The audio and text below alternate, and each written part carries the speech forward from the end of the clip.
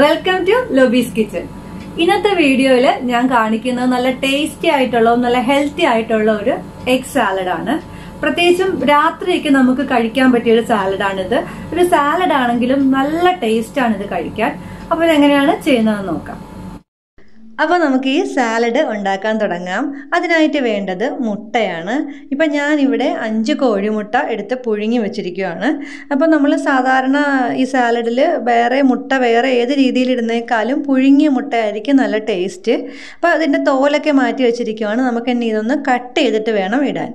അപ്പോൾ നമുക്ക് വേണമെങ്കിൽ ഇങ്ങനെ രണ്ടായിട്ട് വേണമെങ്കിൽ കട്ട് ചെയ്തിടാം. അല്ലെങ്കിൽ വളരെ ചെറുതായിട്ട് നമ്മൾ കൊത്തി അരിയില്ലേ അങ്ങനെ വേണമെങ്കിൽ കട്ട് ചെയ്യാം.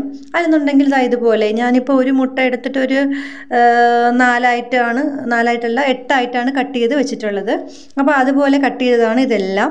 അപ്പോൾ നമുക്കിതൊരു പാത്രത്തിൽ വെച്ച് ഇതൊന്ന് മാറ്റി വയ്ക്കാം അപ്പോൾ മുട്ട പൊടിയാതെ തന്നെ ഞാൻ മാറ്റി വെച്ചിട്ടുണ്ട്. പിന്നെ വേണ്ടത് തക്കാളിയാണ്. അപ്പോൾ ഞാനിപ്പോൾ നല്ല പഴുത്ത തക്കാളിയാണ് എടുത്തിരിക്കുന്നത്.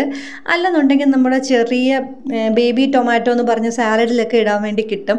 അതുണ്ടെങ്കിൽ അതായിരിക്കും കുറച്ചുകൂടെ നല്ലത്. ഇപ്പോൾ എന്റെ കയ്യിൽ അതില്ലാത്തത് കൊണ്ട് നമ്മുടെ സാധാരണ ടൊമാറ്റോ തന്നെയാണ് എടുത്തിരിക്കുന്നത്. ഇത് ചെറുതായിട്ട് കട്ട് ചെയ്തെടുക്കണം. അപ്പോൾ നമ്മൾ സാലഡിലൊക്കെ കുഞ്ഞുതായിട്ട് കട്ട് ചെയ്തിടുവാണെങ്കിൽ നല്ല ടേസ്റ്റ് ആയിരിക്കും കഴിക്കാൻ. പിന്നെ വേണ്ടത് പുഴുങ്ങിയെടുത്ത പൊട്ടാറ്റോ ആണ്. അപ്പോൾ മുട്ട കഴിഞ്ഞാൽ പിന്നെ നല്ല ടേസ്റ്റ് കിട്ടുന്ന ഒരു സാധനമാണ് ഈ പൊട്ടാറ്റോ. അപ്പോൾ നല്ല വൃത്തിയായിട്ട് ചെറുതായിട്ട് ഉപ്പിട്ടിട്ടാണ് ഞാൻ പുഴുങ്ങി എടുത്തിരിക്കുന്നത്. ചെറിയ കഷ്ണങ്ങളാക്കി കട്ട് ചെയ്താണ് സാലഡ് ബൗളിൽ ഇട്ടത് പിന്നെ വേണ്ടത് സാലഡ് ലീവ്സ് ഞാനിവിടെ ഈ സാലഡ് ഉണ്ടാക്കാൻ വേണ്ടിയിട്ട് അർഗുള ലീവ്സും പിന്നെ സ്പിനാഷുമാണ് എടുത്തിരിക്കുന്നത്. നമുക്ക് ഏത് നിങ്ങൾ ഉപയോഗിക്കുന്ന ഏത് സാലഡ് ലീവ്സ് വേണമെങ്കിലും എടുക്കാം. മല്ലിയില ആയാലും മതി. മല്ലിയിലയുടെ ടേസ്റ്റ് ഇഷ്ടമുള്ളവർക്ക് മല്ലിയില ചേർക്കാം. അല്ലെന്നുണ്ടെങ്കിൽ സാലഡ് ലീവ്സ് ഉണ്ടെങ്കിൽ അത് ചേർത്ത് കൊടുക്കാം. അപ്പോൾ അത് ഞാൻ ചെറുതായിട്ടൊന്ന് കട്ട് ചെയ്തിട്ട് ഇട്ട് കൊടുത്തിട്ടുണ്ട്. പിന്നെ വേണ്ടത് സവാളയാണ്. ഞാൻ ഇവിടെ എടുത്തിരിക്കുന്നത് ഒരു സവാളയാണ്. ഒരു സവാള എടുത്ത് വളരെ ചെറുതായിട്ട് കനം കുറച്ച് കട്ട് ചെയ്തിട്ട് വേണം ഇതിലേക്ക് ഇട്ട് കൊടുക്കാൻ. പിന്നെ നമ്മുടെ ഈ സാധാരണ ഈ കളർ സവാളയെക്കാളും വൈറ്റ് സവാള എന്ന് പറഞ്ഞിട്ട് വാങ്ങിക്കാൻ കിട്ടും.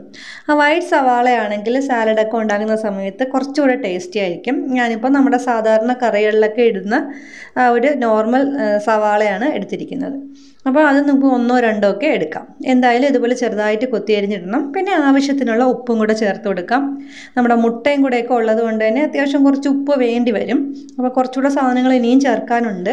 അപ്പോൾ ഞാൻ ഉപ്പും ചേർത്തിട്ട് ഒന്ന് മിക്സ് ചെയ്യുവാണ്. ഉപ്പ് നമ്മുടെ ഉരുളക്കിഴങ്ങിൽ ഞാൻ ഓൾറെഡി കുറച്ച് ഉപ്പ് ഇട്ടിട്ടുണ്ട് പുഴുങ്ങിയ സമയത്ത്. അപ്പോൾ ബാക്കിയുള്ളതിലൊന്നും ഉപ്പില്ല. അപ്പോൾ നമുക്കൊന്ന് ഇളക്കി ഉപ്പൊന്ന് യോജിപ്പിച്ചു കൊടുക്കാം.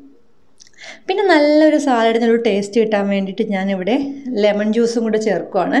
ഞാനിവിടെ ഒരു വലിയ ലെമണിന്റെ ജ്യൂസാണ് ചേർക്കുന്നത്. അല്ലെന്നുണ്ടെങ്കിൽ അത് പകുതിയാണ് ചേർക്കുന്നത്. പകുതി നാരങ്ങയുടെ ജ്യൂസ് അപ്പോൾ നമ്മുടെ ചെറുനാരങ്ങയാണെന്നുണ്ടെങ്കിൽ ഒരു ഫുൾ നാരങ്ങ ചേർത്ത് കൊടുക്കാം. പിന്നെ കുരുമുളക് പൊടി ചേർക്കുന്നുണ്ട്. ഞാനിവിടെ ഒരു ടീസ്പൂൺ പെപ്പർ പൗഡറാണ് ചേർത്തത്. നിങ്ങളുടെ ടേസ്റ്റിനനുസരിച്ച് പെപ്പർ പൗഡർ കൂട്ടുകയും കുറയ്ക്കുകയും ഒക്കെ ചെയ്യാം. അപ്പോൾ ഞാൻ ഈ പെപ്പർ പൗഡറും ഈ സാലഡിലോട്ട് മിക്സ് ചെയ്ത് വെച്ചിട്ടുണ്ട്. നന്നായിട്ട് എല്ലാ ഭാഗത്താവുന്ന ആവുന്നവരെ മിക്സ് ചെയ്ത് കൊടുക്കണം.